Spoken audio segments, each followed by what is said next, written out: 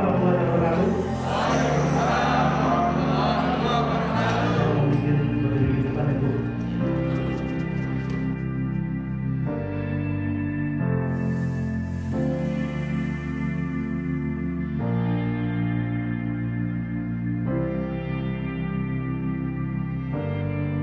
Hari ini kita akan kupas, boleh nanti silakan bertanya, kita akan lebih banyak diskusi. Kita akan lebih banyak diskusi. Saya maunya Bapak Ibu nanti bercerita tentang kendala-kendala di lapangan terhadap eh, teman-teman kita fraksi saya. Apa saja kendalanya, apa yang harus kita carikan jalan keluarnya.